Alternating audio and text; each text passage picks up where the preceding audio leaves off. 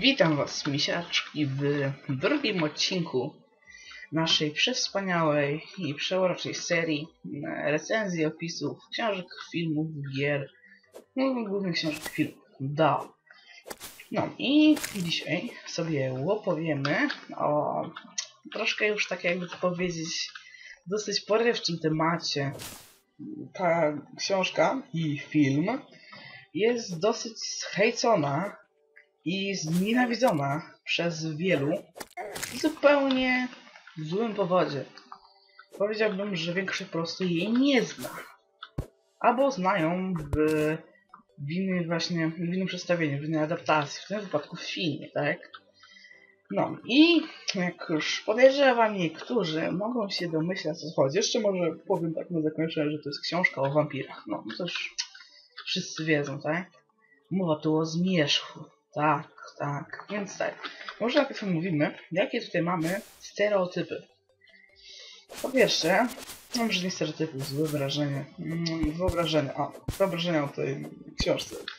Więc tak, wiele osób myśli po obejrzeniu filmu, albo nawet po jakichś tam recenzjach kolegów, nie wiem, kogoś tam, że jest to gówno. Ja się z tym zupełnie nie zgadzam.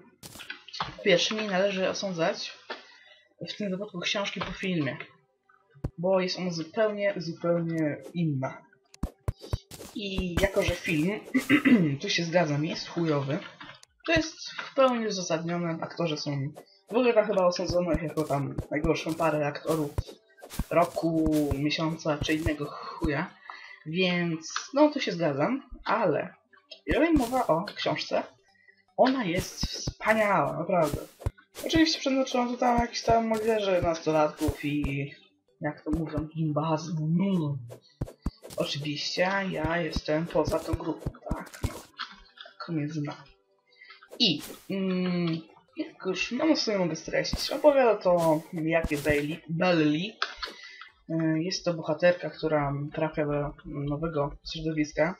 Przeprowadziła się po prostu z rodzinnego domu i do swojego taty. No tam małżeństwo jest rozwiedzione, rozwiedzione, więc mieszkają osobno. I przeprowadziła się tam do taty na wakacje na razie. I poznała tam... Kurwa, zabrakło mi sylosów. No.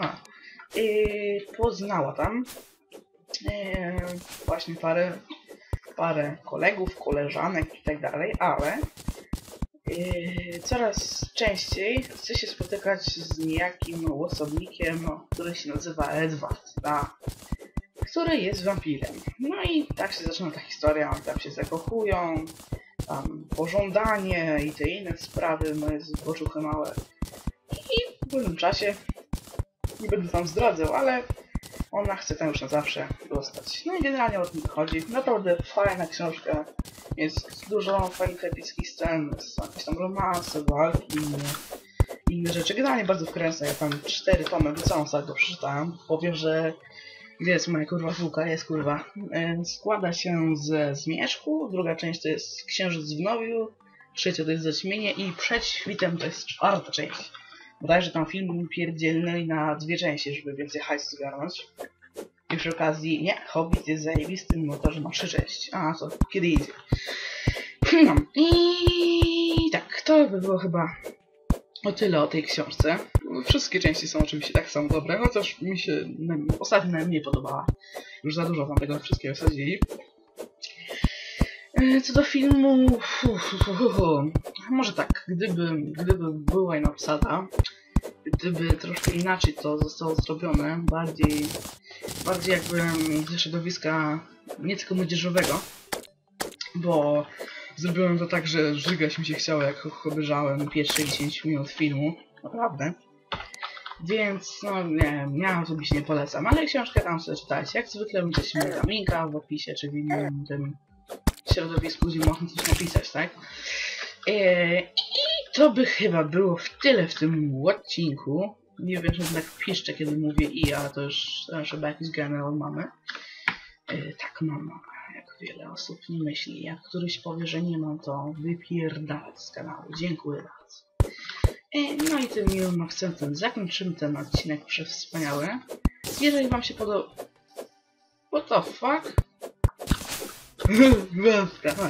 Jeżeli wam się podobało, to możecie subnąć, możecie skomentować coś stosownego, możecie też lajknąć, możecie polecić znajomym, dać hajs tam, nie whatever. I dankę za oglądanie.